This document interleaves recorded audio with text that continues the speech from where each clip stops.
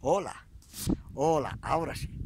Que non daba eu feito aquí co, tocando co dedo no, no sitio.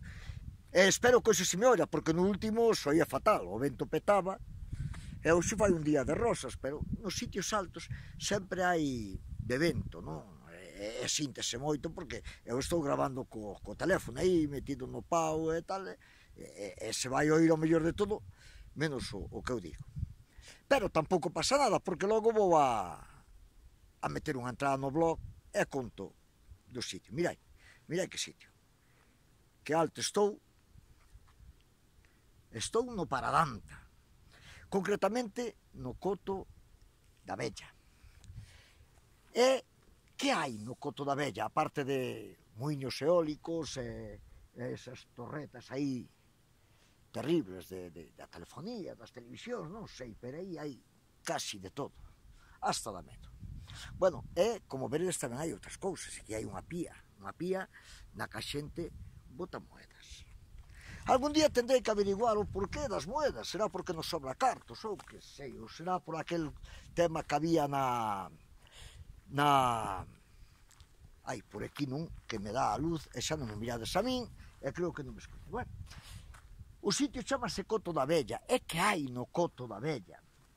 Pois neste monte, moi cerquiña de, do santuario da Franqueira, conta a lenda que xa fai moitos anos, máis de, de ai, pois casi, casi, non faltará moito xa para que vai cerca de, de un milleiro de anos. Iso, ah, ah, Ainda falta un pouco, pero fai moitos centos de anos. Aquí se escondeu a Virxen, a Virxen da Franqueira, ou a figura, porque a cousa estaba mal, e había guerras, e andaban por aquí para terse castos mouros, os moros, moros, non os mouros, os moros, andaban por aquí. Entonces aí entra a santa para... E esconde a figura nesta pequena cova que temos aquí. Vamos a chegar para lá. Aí.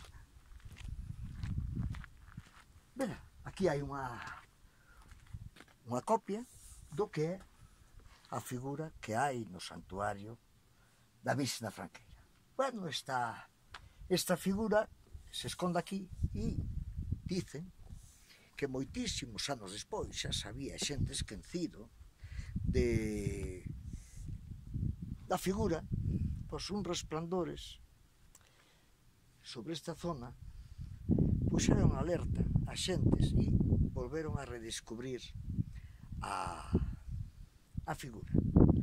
Figura que é elevada por uns bois os que dicen que se tapan os ollos porque todo o mundo quería reclamar a santa e son estes bois donde paran se construye o templo actual. A mí me recorda moito ahora este sitio, pola visión, o dominio que ten do territorio, e incluso a serra, e non estamos realmente moi lexos. A outra figura tamén que se venera no suído, San Bernabé da Graña. Tamén este si o home nunha pequena cova e ali hai un, unha figura que recorda o santo, patrón de, da Graña, non? Como dicía, logo xa vos contarei algo máis, non? E espero que disfrutedes, non? Do sitio. Mirai, mirai, aquí ven a xente a votar pois aquí neste eu creo que así se verá neste peto do goberno aquí hai algo unhas monedas depois votaremos algo por si acaso e que, que ven xente a menudo, pois ven porque aquí hai velas, e hai flores, e parece que é un sitio de que a xente ven habitualmente a pedir. Sí, a veces necesitamos de pedirlle os santos cando xa eh, no terrenal non, non nos atenden ou, ou non teñen remedio as nosas cousas. Veña, xa vos contarei.